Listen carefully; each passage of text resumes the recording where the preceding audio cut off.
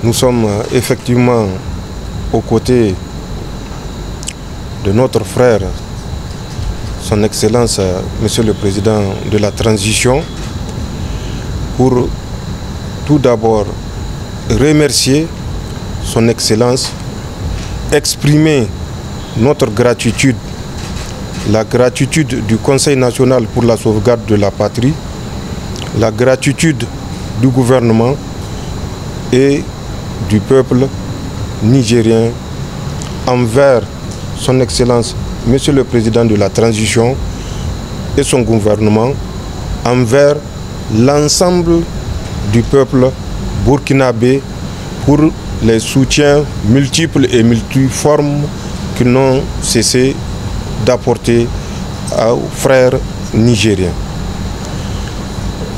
Vous savez que le Niger, depuis le 26 juillet 2023, s'est retrouvé dans une situation particulière. Et suite à cette situation, des pays de la CDAO ont décidé le 30 juillet, sans nous écouter, de nous attaquer en travers une force qu'ils auraient constituée, mais que nous sommes tous conscients que c'est une force télécommandée. Le 31 juillet, le Burkina et le Mali ont fait une déclaration conjointe suite à laquelle ils s'opposaient à toute agression contre le Niger. Et mieux encore, ils précisaient que toute agression contre le Niger sera considérée comme une agression contre le Burkina et le Mali. Cette déclaration conjointe a permis d'adoucir certaines ardeurs et d'éviter que le territoire nigérien ne se transforme en champ de bataille.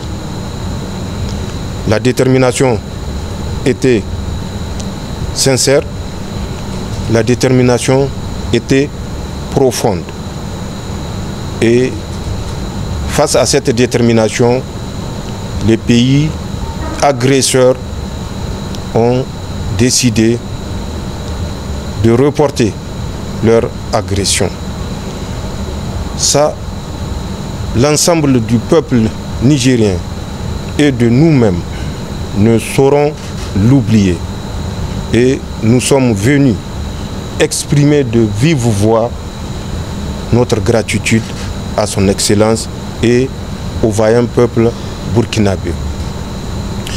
Dans la même lancée de cette déclaration, vous vous rappelez le 16 septembre 2023, le Burkina Faso, le Mali et le Niger ont décidé de créer l'Alliance des États du Sahel.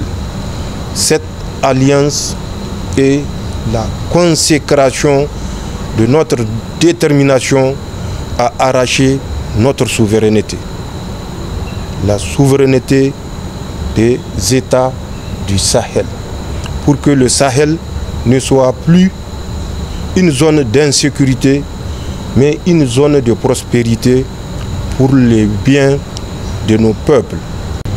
À travers l'Alliance des États du Sahel, nous devons changer.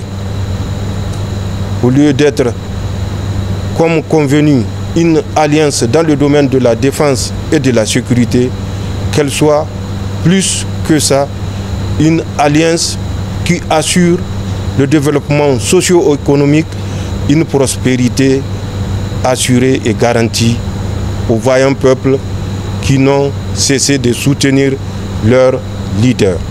Et ceci est un espoir que nous n'avons pas le droit de décevoir, de trahir.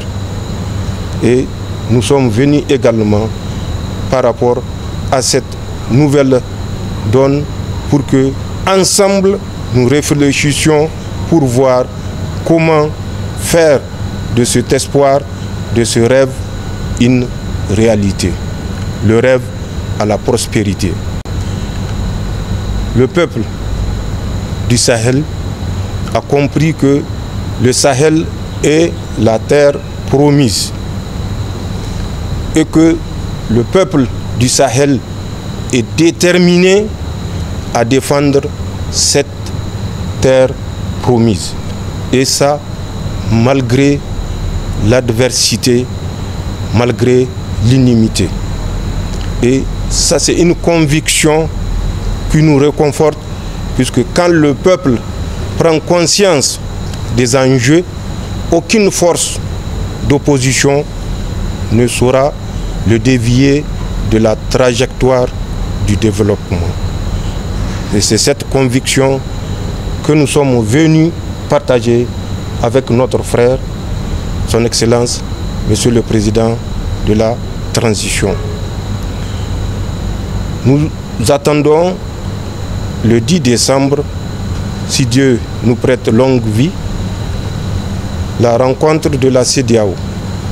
Rencontre qui va décider du sort du peuple nigérien qui vit depuis bientôt quatre mois sous embargo.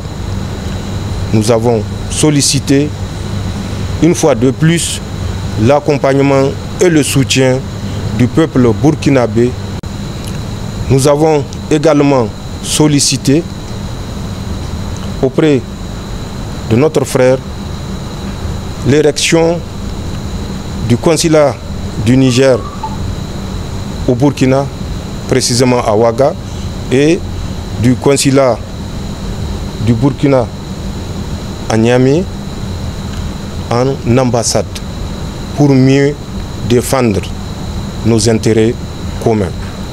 Enfin, vous le savez tout aussi bien que moi, le rôle que joue le Burkina pour nous faciliter l'acheminement des produits de première nécessité que certains pays veulent nous empêcher de ramener au peuple nigérien. Nous devons ne jamais l'oublier et exprimer également notre reconnaissance face aux énormes sacrifices que consentent les autorités et le vaillant peuple burkinabé pour permettre au peuple nigérien résilient également de survivre. C'est des choses qui ne peuvent s'exprimer que physiquement et de vive voix. Voilà de façon synthétique les principaux éléments qui nous ont conduits en terre des hommes intègres